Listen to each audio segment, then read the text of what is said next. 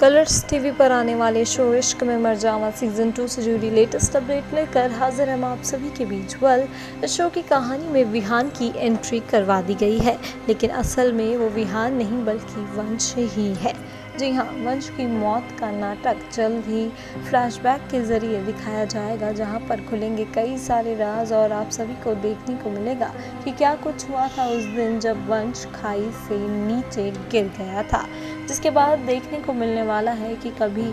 वंश की मौत हुई ही नहीं थी और जो ये विहान बनकर शख्स लौट कर आया है, ये कोई और नहीं बल्कि वंश ही है। जी हाँ फ्लैशबैक के ज़रिए कई सारे राज खुलने वाले हैं और ये राज इस शो की कहानी को और भी ज़्यादा इंटरेस्टिंग बनाने वाली हैं।